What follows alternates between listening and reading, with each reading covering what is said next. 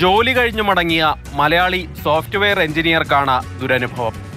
ഇന്നലെ വൈകിട്ട് ആറ് മുപ്പതിന് കാടുബീസനഹള്ളി അണ്ടർപാസിന് സമീപത്തെ സർവീസ് റോഡിൽ വെച്ചാണ് അക്രമശ്രമം. ആദ്യം കാറിന്റെ ബോണറ്റിൽ ചാരി നിന്ന് യുവതിയെ അസഭ്യം പറഞ്ഞ ശേഷം ഡ്രൈവർ സീറ്റിനടുത്തേക്ക് യുവാവ് വന്ന് വാതിൽ തുറക്കാൻ ആവശ്യപ്പെട്ടു.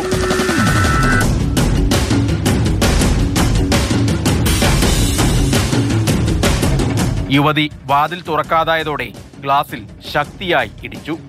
ഇയാൾ വശത്തേക്ക് നീങ്ങിയപ്പോൾ വേഗത്തിൽ കാറോടിച്ചാണ് യുവതി രക്ഷപ്പെട്ടത്. ദൃശ്യങ്ങളെല്ലാം ഡാഷ് ക്യാമറയിൽ പതിഞ്ഞിട്ടുണ്ട്.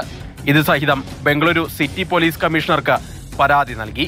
ഒറ്റയ്ക്ക് സഞ്ചരിക്കുന്ന സ്ത്രീകൾക്ക് നേരെ ഇത്തരത്തിലുണ്ടാകുന്ന സംഭവങ്ങൾ ആശങ്കപ്പെടുന്നതാണ് കഴിഞ്ഞ ദിവസം ബംഗളൂരു മെട്രോയിൽ യാത്ര ചെയ്ത യുവതിയെ പരസ്യമായി കടന്നുപിടിച്ച സംഭവവും റിപ്പോർട്ട് ചെയ്തിരുന്നു.